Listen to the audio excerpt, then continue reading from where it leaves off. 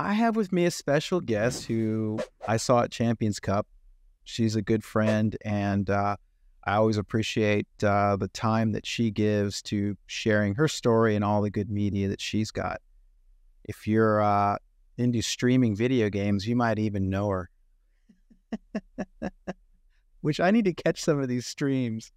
This good friend that I'm talking about is none other than Hailey King, and we're going to bring her in and talk about the discs in her bag. What's going on, Hailey? Hey, what's up? Well, good to see you. We're here to talk about your in the bag. Take it away. Tell us what uh, what you're throwing these days. So I'll just start off with my putters. I'm putting with the classic KC Fireflies. A lot of people say they're super slick, but I think they're perfect for my hands, especially in these like 90 degree days. They get a little gummy, so they're a little tacky then, um, but not too much. And they're pretty overstable putters, so you can throw them as a driving putter as well, but I just choose to putt with them. Next, for my throwing putters, my new favorite one right now is this Sweet P2. It's an S line and it's 175 grams. This thing is legit 10, 11 years old. I got it from the Paul McBeth. So this was in his bag and I still can't turn this thing over if I tried to. It's it's amazing. For my approach shots, I like to use my P3X as well. This is a goal line, so it's going to be a little bit stable. It's max weight at 175, and it's just a touch less stable than the other P2. So this is a P3X, not a P2, my bad. So it's a little bit more uh, straighter than the P2 because that one is very overstable, where this one is just it fits in my hand better. So when I'm throwing standstills, I'm going to throw this one versus the P2. People associate the P2 with the Firefly. Would you would you say that's true? Yeah, I would definitely say that's true. Yeah.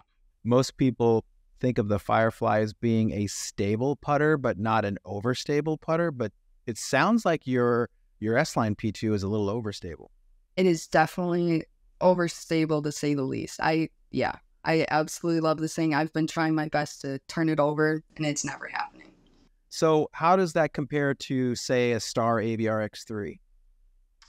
Well, I think the flights are probably very similar. It's just how the disc feels in your hand. So, the P2s in that line, the bigger rims feel a little bit better than the Aviar X3, where it's a little sharper.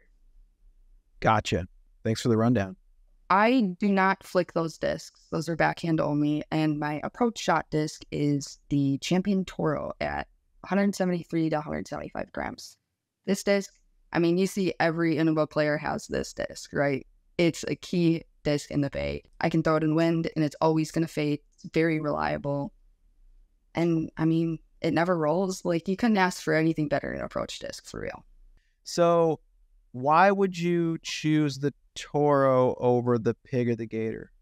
I feel like the Toro is just a lot more torque resistant and it feels really good in the hand.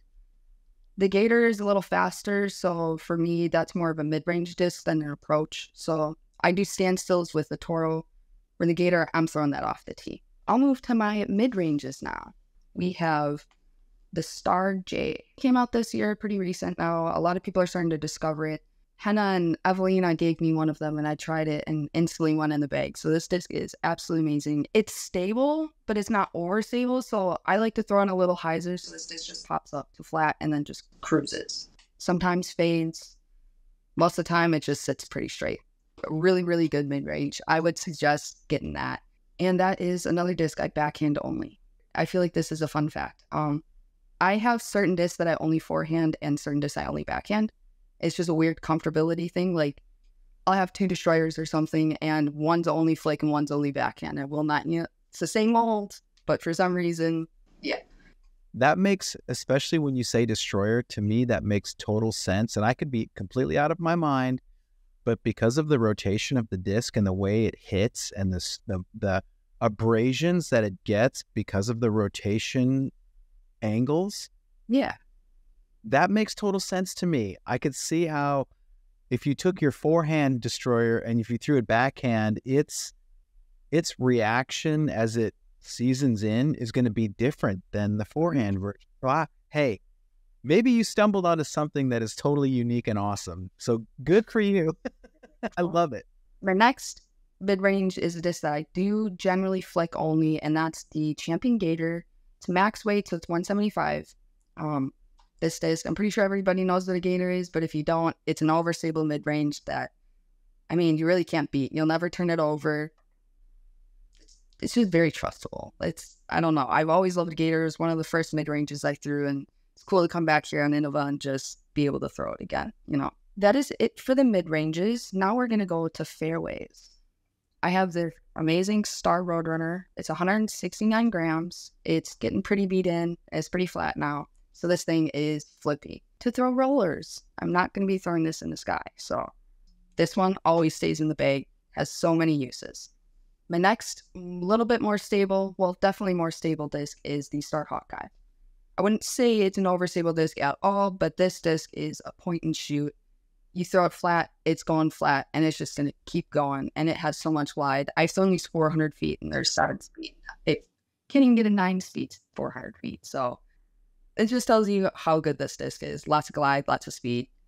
Very good disc in the woods as well. I absolutely love the Halo Hawkeye because it is a more stable version of the Star Hawkeye and really torque resistant with it being in the Halo plastic. Push one flat, and that thing just goes. If you want a disc that goes straight and is really easy to throw, I would definitely pick up a Halo Hawk. Did some field work with Bradley Williams today, and he helped me out. I was starting to get into the T-Bird 3s. He gave me this Star T-Bird 3, and it's 170 grams. Supposedly, this is the perfect run. You have to get them between 169 and 171 grams. They have to be low flat and star. And these discs like I was just throwing them and it's it's a more stable version of the Star Hawkeye. It's very easily controllable that you can literally just put outline and it's gonna go there. It does have a little bit of fade, so it's very trustable. I did mention the Metal Flake T-Bird. This is it. I mean, it's max weight, so it's 175. Champion Metal Flake. This thing is brand new, so it's very overstable. So if it's 20 mile an hour winds, I'll be throwing this one instead of the Star.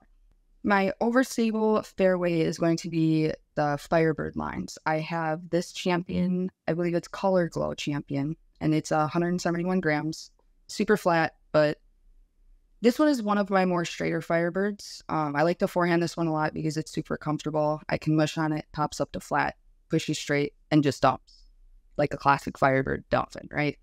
If I don't know what to throw, I'm going to throw this one. It's just super comfortable in the hand, and I know what it's going to do. For the crazy wind, I have my Halo Firebird. It's 173 grams. Everybody who's thrown this Halo Firebird knows what the Halo Firebird does and always wants to get more because there's not another disc like this. Like, I don't think there's a single Firebird that is like this. It is very overstable, extremely torque resistant. I mean, it's a meat hook. And everybody, like, we all need a meat hook disc in the bag. So, this is the one you want. Next, for my further most long distance control driver, some call it a distance driver, is the Thunderbird. I will not use this as a distance driver. It's brand new, so it's overstable. This disc I do like to flick sometimes, mainly backhand. It's an overstable, fast driver for me. So if I need something at like 380 feet, I'm going to throw this. I like to throw harder with slower discs because it's a lot more controllable for me. So I'll throw my Thunderbird instead of a driver in that case. But these are good. My first most overstable disc is the Kelvin Halo Destroyer. I believe this is from last year's run. Yep, last year's run. These are the most overstable destroyers to be made. Nice and pop top. This thing will not turn over in the wind. Uh, I will be able to trust on both backhand and sidearm. Um, I notice in the wind a lot, backhand or forehands tend to turn over a little bit. So this one is not turning over. This disc is incredible. Alex Russell Destroyer. This thing is dope. I just got it recently. Got the cap mark signature on there. Good old good luck. This destroyer is a throwable destroyer for me, so I can actually throw it flat or a little bit on hyzer, pops up, and just carries and always dumps out. Super trustable, classic destroyer. Next, I have a couple Star Wraith bottom stamps. They are 170 grams. Very cool dies by my friends down in Florida. At Double Eagle Disc Golf Shop. Little shout out. Wraiths are a straight distance driver. They're super reliable. So I like to throw a little bit on hyzer. So I put these on hyzer, pops up to flat, pushes to the right, and then eventually fades out. And I've thrown my furthest distance with wraiths, so I will always reach a wraith for distance shots. Super trustable, and they go a mile. Like even even more so than uh, a season destroyer. See, I feel like uh, probably a season destroyer I'll take first, but I don't really like seasoned in discs. I like pretty new discs, so that's why. I like the wraith. That's a pretty fun fact right there. I never remember you saying that. Now that you say that at Champions Cup, you said you like the idea of if you lose a disc, you want to pull one off the shelf in the bag and you're you're off and running. Exactly. Yep. It makes it easy. If you lose one, go get a new one. You're good. You'll be able to play. Yeah. Yeah, that's that's all that's in my bag.